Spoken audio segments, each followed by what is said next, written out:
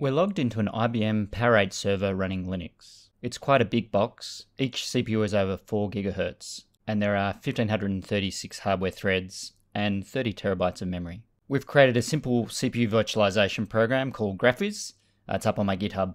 Each rectangle here represents one CPU, and the intensity represents the CPU usage for that CPU. In other words, 100% idle is white and 100% busy is black. We've also created an FFmpeg video output driver, and you can find that on my GitHub.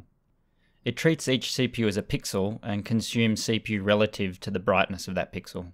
While the background in the original video is white, you'll notice CPU Viz shows some pixels as grey. This is a good representation of OS jitter and kernel overhead, and Nick Piggin and I have been looking at some of these issues in Linux recently. And with that, we can sit back and watch a video. You can see the beginning of time. Collecting data is only the first step toward wisdom, but sharing data is the first step toward community. Poetry. There's not much glory in poetry, only achievement.